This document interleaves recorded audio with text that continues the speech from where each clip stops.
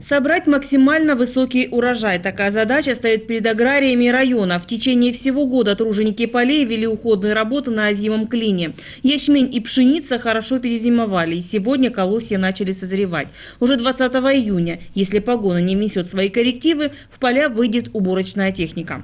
О подготовке к уборочной кампании главе района на расширенном планерном совещании доложил Борис Стрельцов. Этим летом труженикам хозяйств предстоит убрать 25 тысяч гектаров озимых озимых. Ячмень занимает чуть больше двух тысяч гектаров, остальное пшеница. Готовность полная есть, техника обеспечены, нагрузка на один комбайн в нашем районе одна из лучших, порядка 135 э, гектар на комбайн. Это очень хорошее. То есть привлекать технику дополнительно будем единичными случаями. Без внимания не остаются и яровые культуры. Кукуруза, соя, подсолнечник, свекла сегодня в хорошем состоянии, говорит Борис Стрельцов. Пропаша технические культуры получили необходимое количество влаги для активного развития. Но вместе с яровыми в рост пошла и сорная растительность. И если в полях проводят химпрополку, междурядную культивацию, то участки, не занятые сельхозкультурами, начали зарастать. В активную фазу вступила амброзия. Борис Стрельцов рекомендует главам поселения обратить на это это внимание, проводить разъяснительную работу и с населением, и с фермерами на предмет уничтожения карантинного сорняка на своих территориях. Здесь же глава района дает поручение исполняющему обязанности заместителя по вопросам АПК заняться развитием кооперации в районе. Главная задача ваша личная, это я на вас возлагаю, это развитие кооперации.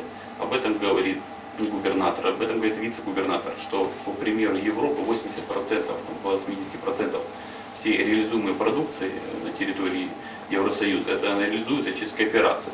То есть от бабушки, которые выращивают у себя там, не знаю, маленькой теплички, что-то до каких-то средних таких э, ферм, все они объединяются в кооперации, все это реализуют. Это только сейчас начинается, зарождается. Мы с вами проговаривали, какие у нас есть возможности, какие у нас есть уже наработки. 1 числа в районе планируется большой праздник, посвященный Дню защиты детей. Задействованы будут все площадки. Тематические мероприятия пройдут во всех учреждениях культуры. Уже 2 июня состоятся троицкие поминовения возле станицы Чемлыгской. А в воскресенье в Лабинске пройдет парад семейных пар. Об этих и других мероприятиях рассказал начальник управления культуры. Игорь Чигаев отметил, что июнь богат на праздники. Поэтому тема безопасности во главе угла. Глава района ставит задачу Евгению Шестопалову Шувалову взять этот вопрос на контроль.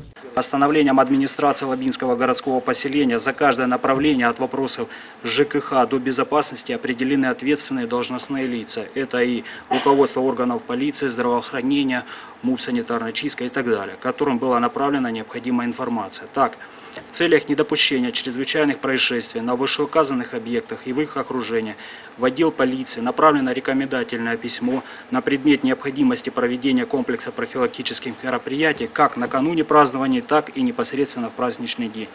Это и обследование площадей, обеспечение охраны общественного порядка посредством выставления нарядов, перекрытия улиц для организации безопасности движения и так далее. Далее участники планерки обсудили работу дворовых площадок и занятости детей и подростков в летний период на территории района. В завершении совещания Игорь Чигаев представил исполняющего обязанности главы Отважнинского поселения. Им стал Роман Слепенко. Наталья Твиненко, Георгий Сопов, телекомпания «Алаба».